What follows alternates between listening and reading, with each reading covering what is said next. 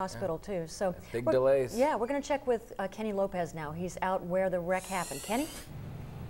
Susan and Tyler, yes, it's been a headache for everyone all day long, but I really want to bring to you the sights of the scene. This is a piece of a bumper from one of the cars. This is the styrofoam. No metal here, so it took a lot of pressure to take off the metal and see the inside of a bumper. And we got some tire tread right here, also completely ripped off.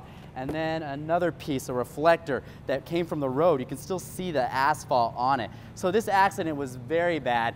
40 cars were involved in the pileup, 22 people injured, and two unfortunately died. Let's take a look at what it looks like right now. This is westbound Interstate 10. They were sanding it earlier. They're making it clear for drivers. It is still closed right now, but they do plan to open in the next 30 minutes. You can still see tow truck drivers cleaning up the last bits of it, and police are there just making sure that everything goes smoothly. So good news, though, on the eastbound side of Interstate 10, it is now open. It opened up around 3.30 today. Traffic is flowing. But let's, let's look at some video shot earlier today from photojournalist Ethan Broussard. You're looking at this silver sedan, all banged up, underneath an 18-wheeler semi. Now, you would think this guy died, but we talked to the driver and luckily he did survive. He walked away without any scratches. He told us he was just a little sore and needed some Tylenol. But sadly, as I mentioned, two men did die, one a 54-year-old from Springfield, the other man from Slidell. All day long, it's been a long process, and towing crews finally were able to go in after the cops investigated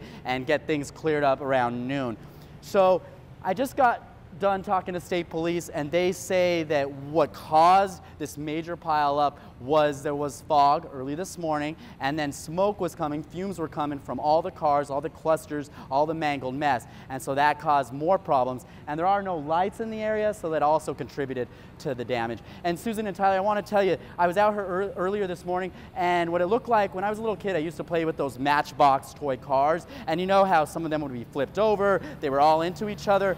And that's what it reminded me of, only that was all fun and games. This was definitely not. It was very dangerous and sad for a lot of people and caused a headache for a lot of people. Back to you guys in the studio. Absolutely. Thanks, Kenny. Yeah, and we're going to have more No fog, and so let this be In the a, morning, yeah. be a warning.